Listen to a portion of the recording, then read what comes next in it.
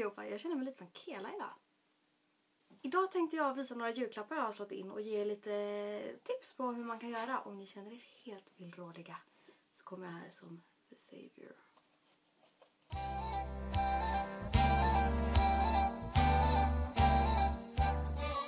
Det här är den första. Och den kanske inte är så klassiskt julig men jag tycker att den blir väldigt vintrig ändå. Och jag hade helt enkelt ett eh, svart papper över.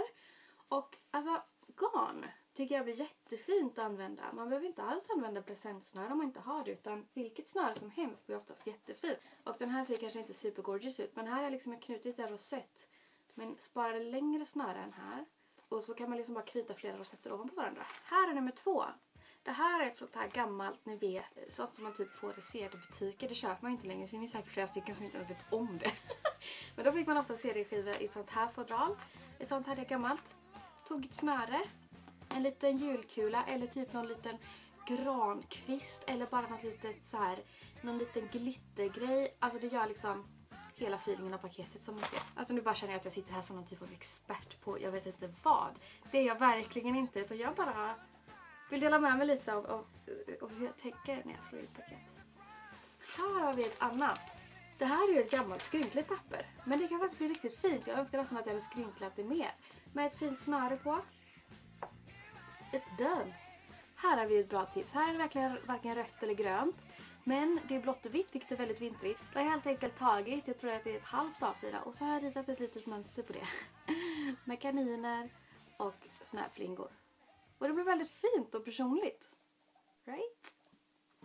Sen kommer vi till faktiska, eh, faktiska liksom presentpapper. Och där är ju ett tips att klippa ut ett hjärta. Det ger en väldigt så här homemade feeling att klippa ut bara en egen lapp och limma på.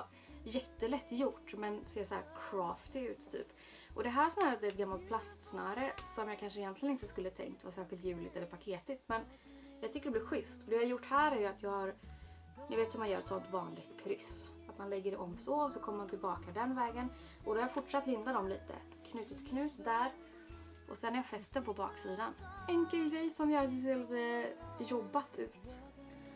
Här har vi ytterligare ett litet paket. Är inte detta jättefint? Jag tycker nästan att det här är det finaste paketet. Återigen, garn. Jag hade ju aldrig valt den här färgen om jag hade valt presentsnöre. Men jag tycker att det blev väldigt, väldigt fint ihop med det här röda röda pappret. Och här är ett litet paket. Kolla vad fint! Där är återigen det här bruna skrynkliga pappret men jag tycker det blev jättefint. Så hade jag ett litet fint snöre så här. Och jag vet att folk kanske inte går omkring och har så mycket snöre. går omkring också, men går omkring och har så mycket snören som jag har. Jag sparar ju på allt liksom. This is why.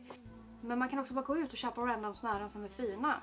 Istället för att köpa presentsnören, det är typ billigare tror jag. Sen kommer vi till det sista paketet. Och det är liksom två tips i ett kan man säga. Dels så har jag gjort som en liten påse. Ser ni det?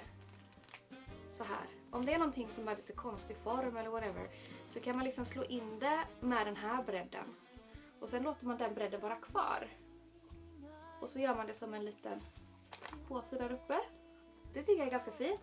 Och sen är det ju även då ett, ett, ett brett band. Det är typ ett kantband egentligen. Men jag tyckte det blev väldigt fint med den svarta breda rosetten. Så.